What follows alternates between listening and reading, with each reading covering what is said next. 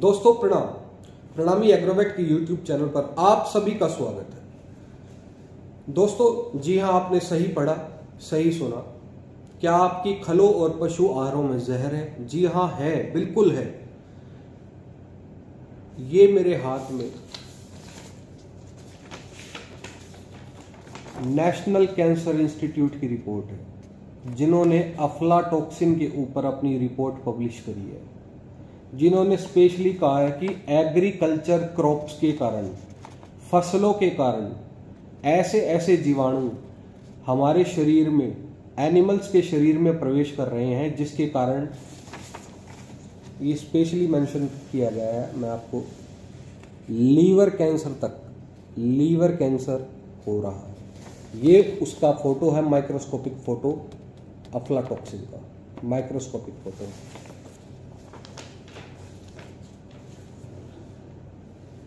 ये ज़्यादातर बिनोला और बिनोले की खल में ज़्यादातर पाया जाता है। ये स्पेशल इन्होंने मेंशन भी करा, मैं आपको दिखा देता हूँ। ये देखिए कॉटन सीड ये देखिए स्पेशल इन्होंने मेंशन कर रखा है cotton seed national cancer institute की रिपोर्ट है कॉटन सीड इन्होंने स्पेशली मेंशन करा है इसमें। और ये पीनट्स में भी पाया जाता है। एग्रीकल्चर क्रॉप्स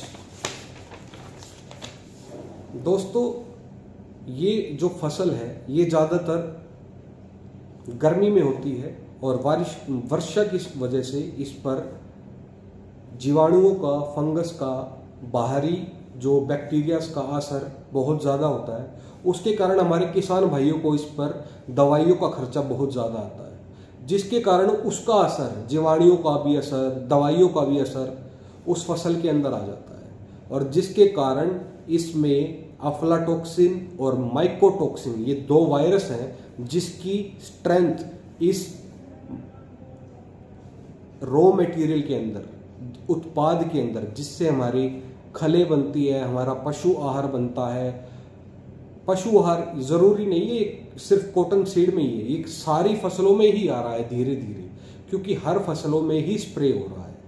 कॉटन सीड में ज़्यादा होता है स्प्रे बजाय कि सोयाबीन के, बाजरे के कॉटन सीड में स्प्रे ज़्यादा किया जाता है। सबसे पहला कारण तो हो गया ये कि किसानों किसानों की ये मजबूरी हो गई है अपनी फ़सलों को बचाने के लिए कि उसको ज़्यादा स्प्रे करना पड़ता है। दूसरा कारण, ये फ़सल आ गई आपकी सर्दी में। अब सरकार को या मिलर को, अब ये पूरे साल आपको सप्लाई करने के लिए इसको स्टोर करना पड़ता है स्टोरेज हाउस में रखना पड़ता है। किसी भी फ़ीड मिलर को, किसी भी हाउस को, ये अपने गोदाम में इसको स्टोर करना पड़ेगा। उस स्टोरेज में भी इसके अंदर मॉइस्चर रहता है, नमी रहती है। नमी की वजह से इसके अंदर फंगस बैक्टीरिया पनपते रहते हैं, पनपते रहते हैं। महीनों दर महीनों इसके अंदर बैक्टीरिया और फंगस पर पनपते रहते हैं। ये दोनों फ़ोटो आप देख लीजिए, अफलाटोक्सिन और माइकोटोक्सिन ये जो दो वायरस हैं, इनकी स्ट्रेंथ बढ़ती ही रहती है, बढ़ती रहती है। ये दोनों आपके घर पहुंचकर, आपका जब पशु इन्हें खाता है तो उनकी रोग प्रतिरोधक क्षमता भी कम होती है, उनकी बीमारियों की संख्या भी बढ़ती है। ये कई तरह की बीमारियाँ भी लेकर आते हैं और इसका असर हमारे दूध में भी आता है और वही दूध हमारे पीने से इसका असर मनुष्य की बॉडी पर भी पड़ता है। तो हमारी कंपनी प्रणामी एग्रोवेट लेकर आई है प्रणामी मिल्क प्लस पशु आहार, जिसके अंदर हमने इसका संपूर्ण समाधान देने की पूरी पूरी कोशिश करी है। दोस्तों, ये है टॉक्सिन बाइंडर,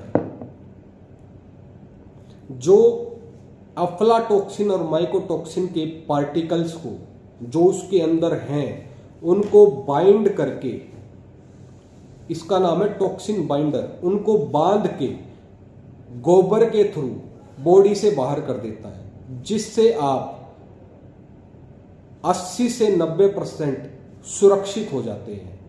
जो 20 परसेंट बच गया, उसको हमारा आयुर्वेद संभाल लेता है। दोस्तों, ये है हल्दी।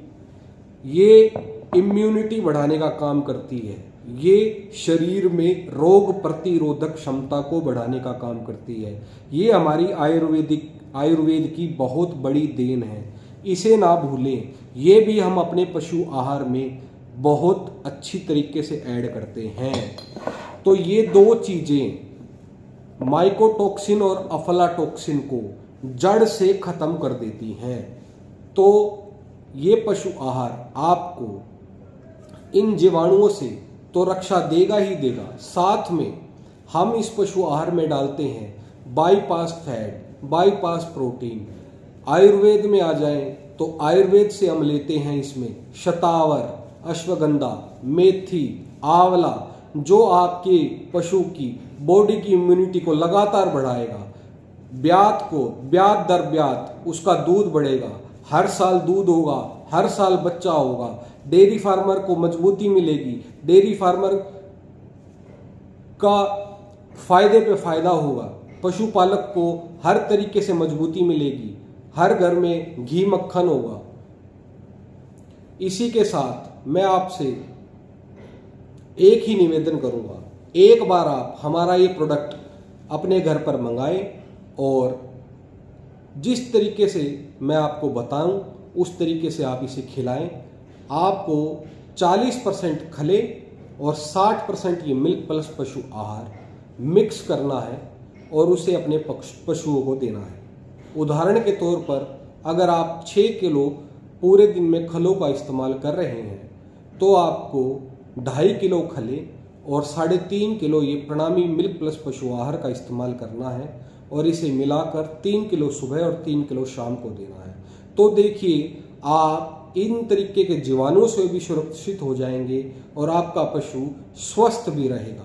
उसे मॉडर्न साइंस का भी सहारा मिल गया और आयुर्वेद का भी सहारा मिल गया। दोस्तों, इसी आशा के साथ मैं आपसे विदा लेता हूँ। प्रणाम। दोस्तों, आपका प्यार इसी तरीके से मिलता रहे तो आप मेरे को कमेंट बॉक्स में लिखकर ज़रूर बताएँ कि आपको ये वीडियो कैसा लगा और आने वाले दिनों में आप किस तरीके का वीडियो, किस टॉपिक पर देखना चाहते हैं, किस तरीके की जानकारी और लेना चाहते हैं, वो भी ज़रूर लिखें। इस चैनल को सब्सक्राइब ज़रूर करें और अपने किसान भाइयों में शेयर करें, ताकि उनकी पशुओं के प्रति जागरूकता बढ़े।